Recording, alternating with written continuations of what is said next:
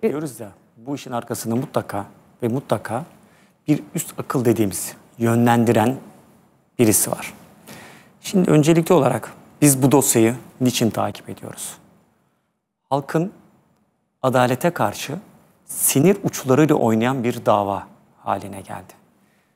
Zenginin, tırnak içerisinde parası olanların sanki hukukun üstündeymiş gibi bir durum oldu. Şimdi paranın gücüyle birlikte aslında söylediğimiz kısım oraya gelecek. Baktığımız zaman bir kaza anında evet bir çocuk kaza yapabilir. 17 yaşında bir çocuk kaza yapabilir. Hata da yapabilir.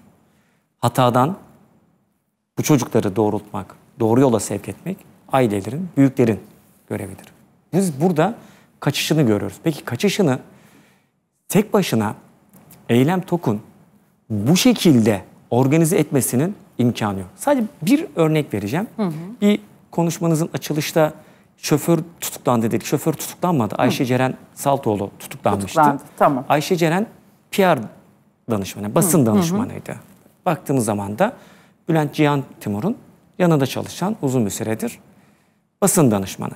Şimdi kaza anında ve sonrası için söylüyorum. Ayşe Ceren Saltoğlu Eylem Tokun yanında ilk kaza anına geliyor. Kaza anından eve kadar dönüyorlar. Çocuk bu sefer 17 yaşındaki TC arabanın içinde. Hepsini içiyorum. Yolda kaçış güzergahında yolda beni ilgilendiren hani o ifadeler bazında söyleyeceğim. Şimdi Eylem Tok birdenbire kendi telefonunu bırakıyor.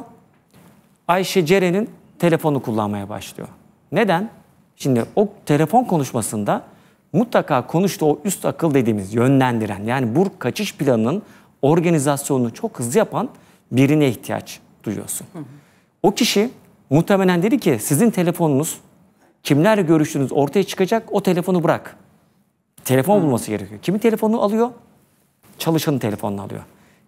Nasıl düşünüyorlar? Nasıl olsa o çalışanın ifadesi belki alınacaktır ama telefonla el konulmaz. Telefonla el konulmazsa bu durum ortaya çıkmaz. Ama şimdi iş tam tersine döndü. Kimlerle konuştuysa o da ortaya çıkacak. Yol güzergahında Eylem Tok'a baktığımız zaman Ayşe Ceren Saltoğlu'nun telefonundan konuşuyor.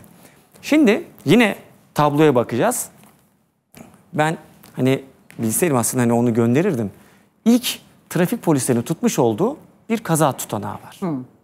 Çok basit bir kaza tutanağı. Hatta ben hani benim kendi telefonumdan e, onu sizlere bir Bana okuyacağım. gönderirsen ben hemen Ece'ye Tamam hemen atayım. göndereceğim onu da. Tamam. E, bu kaza tutanağı şunun için çok önemli diyeceğim. E, oraya baktığımız zaman kusur belirtmiyor. Yani kusuru şunun için belirtmediğini söylüyorum. Bir kazada, ölümlü kazalarda bir kusur belirtilmesi gerekir. Hadi diyelim ki kusur belirtmiyorsunuz. Tablo ortada.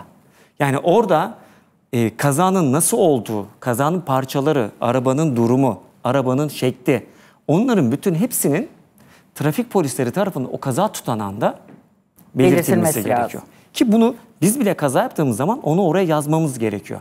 Fakat baktığımız zaman şöyle bir kaza tutananda 3-4 satırlık bir bölüm var. Orada deniyor ki işte taraflar olmadığından kazadaki kusur değerlendirilmesi yapılamamıştır. Bu kadar mı? Ölüm var. Şimdi bunları niçin söylüyorum? Ancak birileri, şimdi kimseyi oradaki polislere zan altına bırakmak istemiyorum. Fakat mutlaka birileri bir zaman kazanmak için sanki bir telefon trafiğine girmiş gibi geliyor. Zaman kazanmak niçin önemli? Kaçış için önemli. Çünkü ölümlü bir kaza var. Birazdan birkaç saat sonra tutanaklara girecek.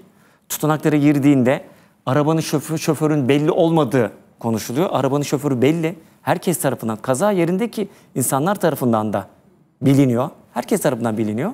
Ama işte diyoruz ya bir zaman ihtiyaç var. O zaman zarfında aslında az önce avukat Mustafa Zafer'in göstermiş olduğu tabloya baktığımız zaman işte 23-20 itibarıyla başlayan bir trafik var. 23-20'den saat 2'ye kadar tek bir düşünce var. Karşı taraf için söylüyorum. Bu çocuk yurt dışına nasıl, hangi organizasyonla kaçırılacak? Tamamen buna odaklanılmış. durumda. Öteki tarafta hani baktığım zaman oysa ki hiç böyle bir organizasyon olmamış olsa belki kaçmayacaklar, polisi bekleyecekler, evde polis gelecek. Çünkü bunu o hızlı refleks gösteremezsiniz. Şimdi bu da bize neyi gösteriyor?